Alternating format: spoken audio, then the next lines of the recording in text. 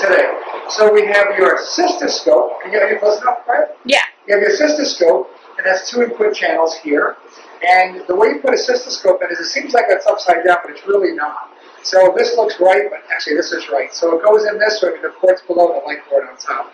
Then we have two polyp catheters. These are these are not pigtails, and they're five French. And then we have an Edelman Foley, which is nice because you can you can pop your uh, stents right into these little ports right here. You don't have to you don't have to worry about uh, using a needle. If you don't have an Edelman, you can use a regular Foley, but take like a uh, needle and pass the catheters through that. What size are you using? 14 angio, you can slide it in there. So that's what we're going to do. So we like to preload. So what we're going to do is, are you close enough Mm-hmm. to see it? Very good. So we're going to preload it. The valves are open. There we go. So we'll preload it so it's all ready to go inside. We'll only use a wire if we have to. We use a glide wire because we don't want to irritate the ureteral opening. And we'll take it, we don't want it to come out yet, but we'll take it right to here.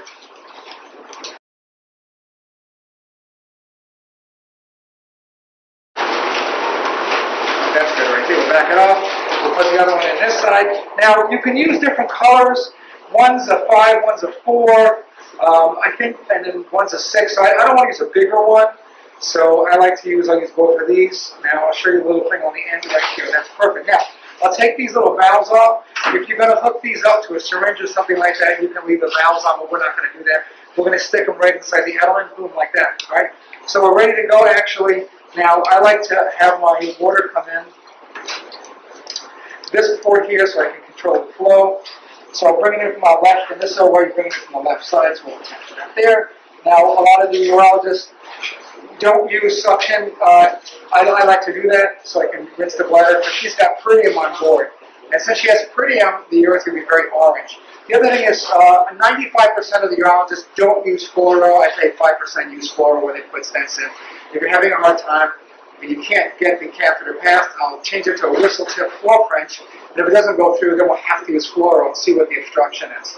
And that's it. Okay, good. Okay, so now we're going to go. Now, the reason I have this towel here is because I don't want to show everybody her vagina. So you can have a towel here. We're going to go right into the urethra. It's already got some lubrication already in there. All right, and now we already ran it through. You want to run your, your uh, water through so that you don't get air bubbles in there. All right, there it is right there. It's already squirting there now. So, so um, Riley, your thing is just do it here because I'm recording. Okay? Yep. So just watch this. So we'll pass it in now. It's hard sometimes to get it right in the hole. Depends on the angle. How big the hole is. That one right in like a piece of cake. Now, every um, mark is a centimeter. So when you get to two two marks, that's um, 10 centimeters. So that's 10, 15. Now some people go to they feel it. This gal's pretty tall. But I'm going to go around 20, a little more than 20. That's good because I'm, I just want the lower pelvis. Okay, so I'll back out a little bit.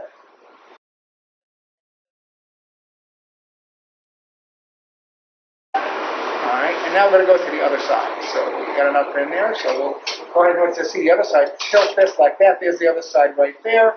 So we'll take the right one, slide it right in. If I need to put a wire in, I'll put a wire in. Bingo!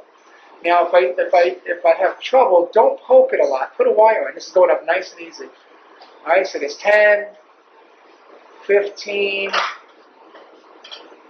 nice and easy. If you feel resistance, that's 20, on 22. Now, the key thing is as you're taking it out, you pull back a little bit. You got to push in a little bit because then you'll pull them out, right? Once you get outside the bladder, grab them both, so you pull them through like this. And now you're done, right? And she's going to want to see her urine output, so you put that right in there. You put the catheter in the bladder.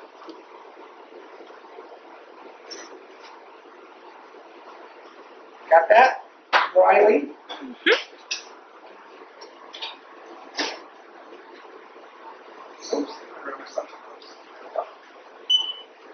Now, watch this. Watch how easy it is. You take them, pop them right in like so. Boom. That's one. Take the other one, you pop it right in. You stop scanning for one second. Take the other one, and you pop it right in like this. And you're in. Okay, so now you have both catheters. Okay, now you have both catheters in. You're good to go. Thanks. That's good.